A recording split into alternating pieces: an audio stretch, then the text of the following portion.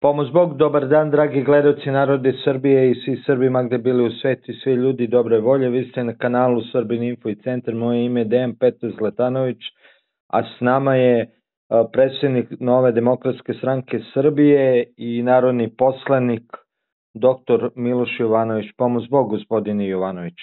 Bog se pomogao. Gospodine, Gospodine Ivanoviću, kako komentarišete ove najnovije hapšenja vezano sa tragedijom u Novom Sadu?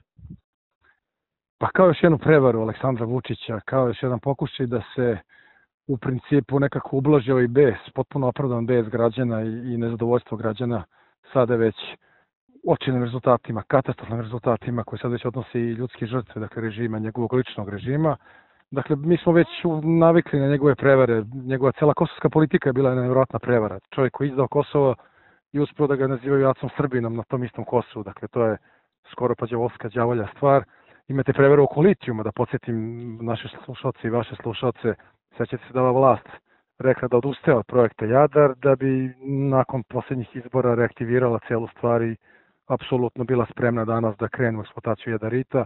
Dakle, njima je i obmana i laž drugo ime, oni se time služe, to je za njih potpuno normalno sredstvo, to su očigledno amoralni ljudi, tako da i ovo treba da shvatite. Dakle, ova su privođenja samo u funkciji smirivanja tenzija, jer osjeća da mu se ipak zadramo i zaljuljao taj brod njegovog režima, a isto važi za ovo najavljeno povlačenje, jer je Miloš Vučić najavio povlačenja zakona o izmenama i dopunama zakona o visokom obrazovanju, znači krajnje besmislenog i nevjerojatno štetnog predloga zakona, da ne kažem idiotskog, izvinja se na izrazu, stvarno treba samo kompletan idiot, ponavljam, izvinja se na izrazu, može da tako nešto pomisli, da nešto kaže i da hoće čak i da realizuje.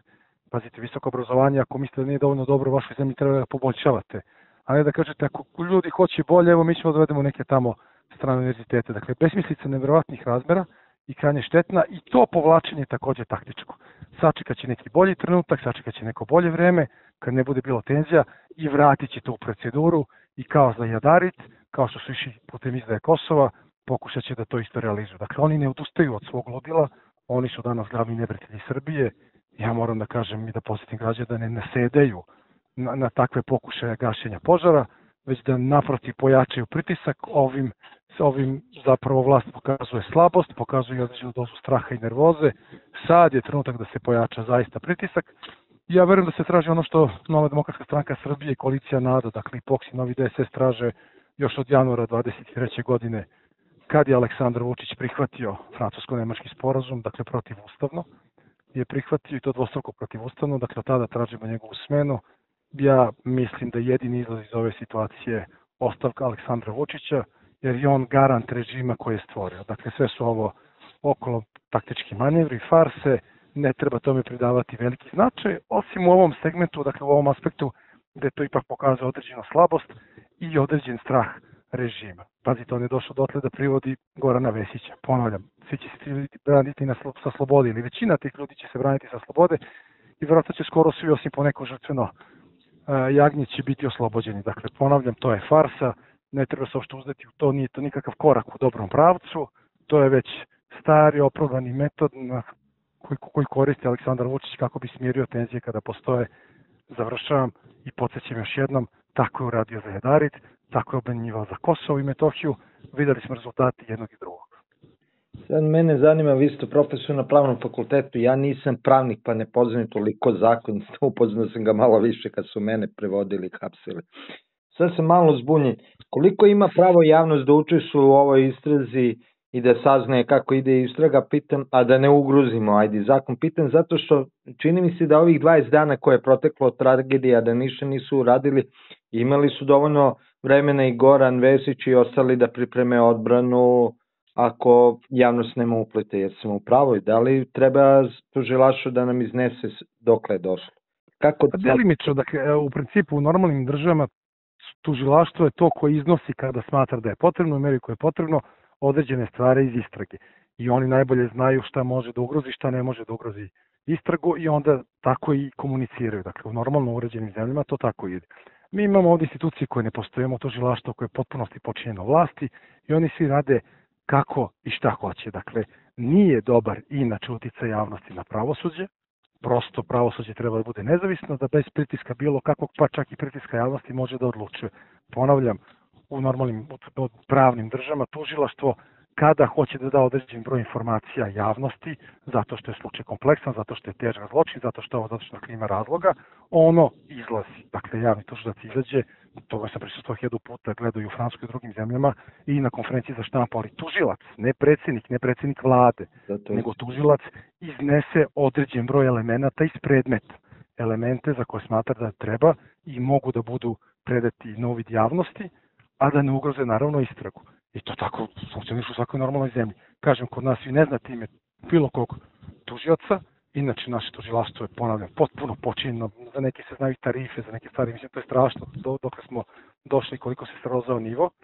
A, ovde je sve, kako bih vam rekao, mislim, mi nismo dobar primer za bilo kakvu vrstu teoretisanja ili preslikavanja dobre prakse iz nekog inostranstva, bilo kog inostranstva, jer je ovde prosto partijska država, mi državu više nemamo, sve počine Aleksandru Vučiću, ja verujem da su oni ne tako davno odlučili da privedu Gorana Vesića, jer je očigledno nezadovoljstvo zaista veliko. I znate, ta čaša se puni nezadovoljstva i žuči godinama. Imali ste ribnikar, imate kosovsku situaciju, tu veliku izdaju, imate taj jadarit, imate to bahaćenje, ucinjivanje građana, nepoštovanje, počinjavanje, poniženje građana, da on ponižava sobstveni narod i ta čaša se puni. Sad smo već onako u nekom trenutku gde počinje se preliva to nezadovoljstvo i osetili su da ima puno stvari, nekako se potrefila, nažalost, ta tragedija, pa njihova ta besmislena ideja o univerzitetu, pa još nekoliko drugih stvari i odlučio da žrtvuje na izgled nekoga. Nema nikakve sumnje da gospodin Vesić neće biti žrtvovan.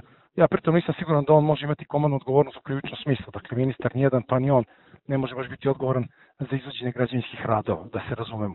Ali to je sad potpuno nebitno. Neko je svakako odgovoran i taj mora da odgovara. Mislim da je tu ti malo viši državni funkcioneri su tu kao privezak da se to pokaže da se kod nas mogu privoditi ministri ili bivši ministri, s tim što još uvek njegova ostavka nije u Skupštini potvrđena, tako da na neki način još uvek i, i na tom mestu. Ali hoću da vam kažem, sve je to jedna velika farsa na koju ne treba nasedati. Šta više, ovo što radi nam pokazuje da su oslabljeni, da su svesni nezadovoljstva i da treba uraditi sve da možda po prvi put u ovih 5-6 poslednjih godina kada se to nezadovoljstvo sve jače ispoljavalo, da završimo priču i da tražimo, kako bih vam rekao, da tražimo odgovornost onog najvažnijeg, najglavnijeg, ako mogu tako da se izrazim čoveka, a to je Aleksandar Vučić. Dok je on na čelu države, taj sistem će da opstane, a dok je tog sistema, bit će i novih izdaja, bit će i novih nastrešnica, bit će i novih ucenjivanja, bit će još gorih medijama, da ne znam koliko gore može od ovoga što sada postoji, bit će novih privođenja, pritiska na birače, pritiska na zaposlenu u javnom sektoru i sve ono što čini ovim režimom, što čini ovaj režim nakaradnim. Samo za kraj još jedna stvar me zanima. Imali smo kineskog investitora da je radio na rekonstrukciji, njega zaklanjaju, a je umeđu vremenu čak i Vučić je kineskim radnicima na drugom gradilištu koji nema upotrebnu dozvolu nosio pljeskavice. Koliko treba osvetliti taj deo učešće stranih investitora u raznim građevinskim poduhvatima ove vlaste koje su poluilegalne, čemu nemaju upotrebne dozvole, a rade su? Pa treba osvetliti, naravno. Sad nemam ja problem što su kinezi. Kinezi grade i verovatno dobro grade u mnogim delovima sveta i kod kuće. Dakle, da li kinez, da li francus, da li amerikanac ili rus, potpuno je nebitno. Došlo do tragedije, mora da se utvrdi odgovornost neretko se napravi dogovor sa stranim investitorom, onda imate podizvođače koje su naše firme, neretko takođe vezane za režim. Dakle, ima tu puno sivih zona, više je to bitno osvetliti, to je možda težište vaših pitanja tu nego na, na nacionalnosti samog ne. Ne, su samo primer trenutni. Da, da, primer, znači sve je to, ne siva zona, nego sve je to ogroman izvor korupcije. Pa mislim, ljudi, nije nama demografija tako dobra, a znamo svi da je katastrofalna, ne dobra, da bi se ovoliko gradilo i stambenog prostora i ne znam čega sve. Prosto to su sumanute stvari, pritom su geopolitičke s aspekta interne, unutrašnje geopolitike Srbije katastrofalne isisavanje iz unutrašnjosti ljudstva, građana, da bi se Beogradska metropola gradila i rasla, je potpuno sumanuto i pogrešno i zapravo suprotno bezbednosti Republike Srbije. Verujte mi danas Srbija i Srpstvo, koji ima puno neprijatelja, nema većeg neprijatelja od Aleksandra Vučića. Taj čovjek temeljno razara, ali temeljno razara osnovne, da kažem, elemente ovog društva i ovog naroda. Znači, Kosovo i Metohiju je pustio niz vodu kao nešto što je temelj identiteta našeg naroda, nacionalnog identiteta i nije samo pitanje prošlosti, nego je pitanje, pošto to je pitanje kulture, to je pitanje sadašnjosti i budućnosti, znači raskorenjava sobstveni narod, nikakve institucije nije izgradio, nego ih je temeljno razgradio, uništava ih, a nema jake države bez jakih institucija. Sada hoće i visoko obrazovanje da razgradi time što će otvoriti vrata pored privatnih fakulteta koji su već veliko zlo napravili, sad možda i stranim privatnim ili ne, ali svakako ne državnim srpskim fakultetima, pa to su neverovatne stvari. Šta je uradio za Ćirilicu u proteklih 12 godina? Apsolutno ništa. Šta je temeljno uradio, a da je dobro? Koji je temelj napravio? Da li pomirio narod? Da li je napravio neko ideološko pomirenje, nacionalno-istorijsko? Ništa. Samo je produbio podele i sve vam je to politika Trange Frange zapravo institucionalizovao pljačku i korupciju, njima je lepo, oni se bogate, Srbija propada, Srbija sve manja, Srba sve manje i to je rezultat 12-godišnje vladavine. Jedino čime se bavio kao da je neki građanski preduzetnik i preduzimač visokogradnjom i niskogradnjom. Eto, to je jedino čime se bavio i naravno nije se bavio pošteno ni tim jer ti kilometri, odnosno cena autoputa po kilometru je kod nas nekako uvek bivala više struko veća nego u nekim susednim zemljama pa i nekim daljim zemljama. Što je ovaj, naravno već samo, samo po sebi za istragu, ali tu smo gde smo. Naravno, meni je najveći, najveći zločin prema svom narodu koji napravio je kosovski zločin i to ćemo morati da ispravljamo, bit će teško, ali nemamo drugi nego da se borimo za Kosovo i Metohiju, a onda i sve ostalo.